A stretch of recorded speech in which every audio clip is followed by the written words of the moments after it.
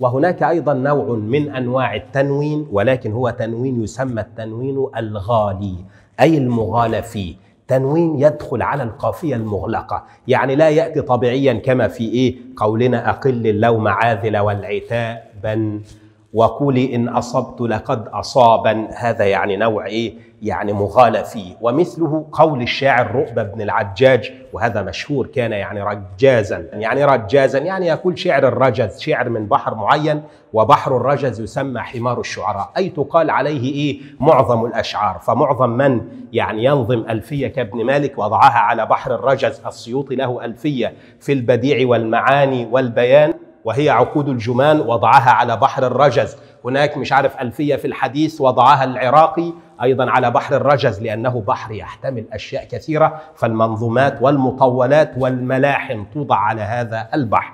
فكان رؤبة وابنه العجاج مشهوران بذلك. قال رؤبة بن العجاج وقاتم الأعماق خاوي المخترق مشتبه الأعلام لماع الخفق. يصف الطريق يقول وقاتم. قاتم أي عليه لون القتامة. وقاتم الأعلام يعني العلم اللي هو الجبل أو العلامات. قاتم يعني غير واضحة. وقاتم الأعلام خاوي المخترق ليس فيه إيه؟ إلا الرياح التي تخترقه مشتبه الأعلام لماع الخفق. مشتبه طرقه مشتبهة يدخل بعضها في بعض.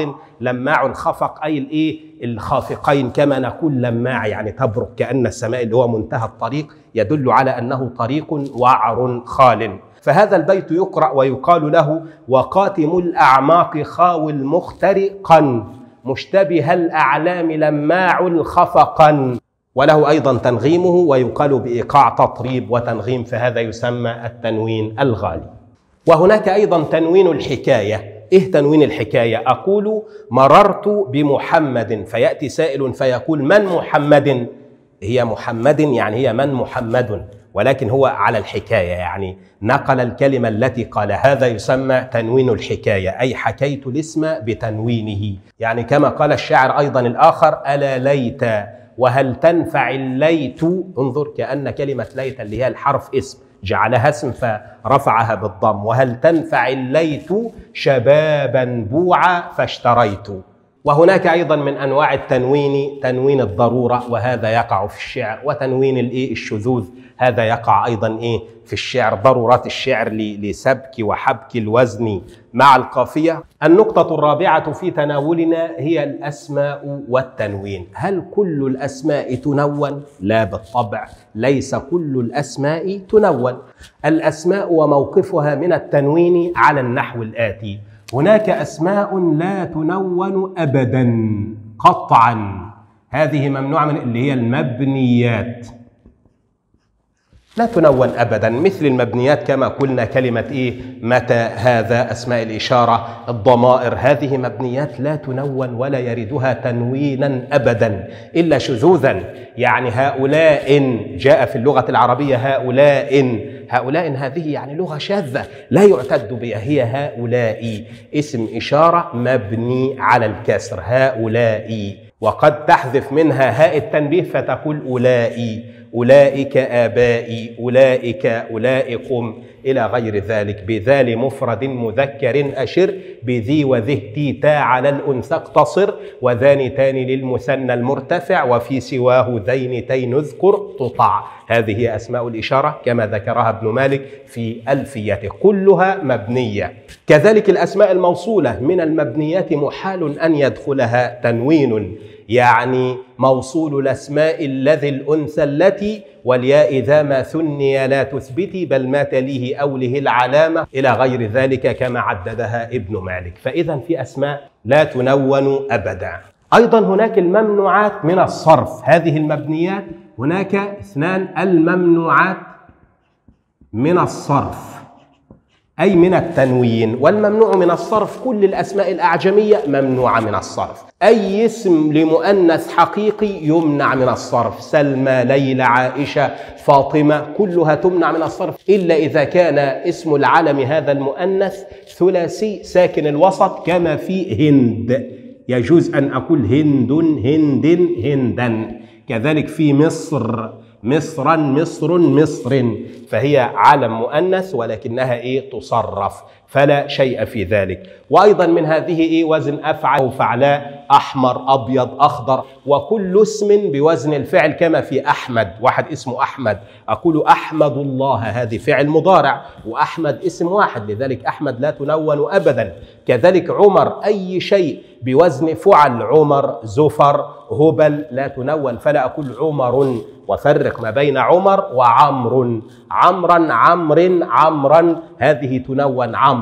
أما عمر فإنها محالة من عامر يعني في تحويل اشياء كده إيه تخصصات فهي لا تنون البتة. كذلك أخر كذلك إيه؟ كذلك أخر وهناك صيغ منتهى الجموع مصابيح قناديل عصائب فعائل. فكل صيغ منتهى الجموع لا تنون البتة أيضا تمنع من الصرف. وكذلك الاسم المقصور وهو الاسم الذي ينتهي بألف لازمة قبلها فتح مثل عصا فتى. أيضا يكون منونا في حال تنكيره كما ترون. والنون انظروا أين توضع عصا. لا على الألف اللينة هذه ولكن على الإيه؟ على الحرف ما قبل الألف المقصورة. على ما سنأتي عليه.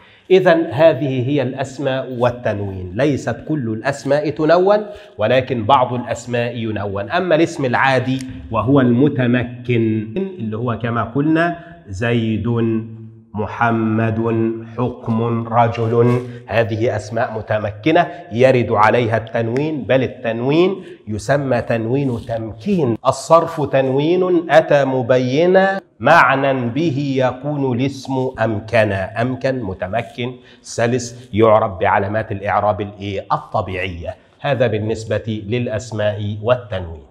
النقطة الأخيرة والأهم تنوين النصب. ما مشكلة التنوين؟ مشكلة التنوين تكون في حالة النصب، في حالة الرفع ضع ضمتين، في حالة الجر ضع كسرتين على آخر حرف من حروف الاسم الذي تنونه، بينما الأمر يختلف في النصب وخاصة في الأسماء التي تنتهي بهمز. دعونا نرى ذلك على النحو الآتي. السؤال الذي يفرض نفسه الآن كيف أنون الأسماء؟ أقول مثلا حصلت على حكم قضائي. انظروا لا شيء في ذلك. يعني التنوين تضع حكم قضائي. طيب عندما أقول أدركت أو حصلت حكما قضائيا انظر ماذا تغير. هنا هذا التنوين. وضعته على ألف هذه تسمى ألف التنوين. قضائيا. هنا كان الأصل قضائي. هنا همز انتهت الهمز بياء. وضعنا ألفا. انظروا هذه تسمى ألف التنوين أيضا. يعني الأصل في القاعدة على النحو الآتي. عندما تضع تنوينا في حالة النصب يعني الفتحتين ضعه على ألف. هذا هو الأصل. وعليه خذ هذه القاعدة. مشكلة التنوين يكون في حالة النصب والقاعدة الأصل فيها على النحو الآتي. عندما تنون الاسم في حالة النصب ضع التنوين على ألف. بس هذه القاعدة باختصار. هل هذا الأمر مضطرد يا دكتور؟ لا. فقط هناك استثناء في أربع أحوال. على النحو الآتي أي كلمة تنتهي بتاء مربوطة. أقول محكمة. التنوين هكذا لا أضع ألفا. انظروا محكمة. التنوين فوق التاء المربوطة هكذا. اثنان عندما تأتي الهمز على ألف فمثلا كلمة ملجأ. أيضا ها هنا أضع التنوين على الهمز هكذا. لا أحتاج إلى ألف. انظر محكمة ملجأ.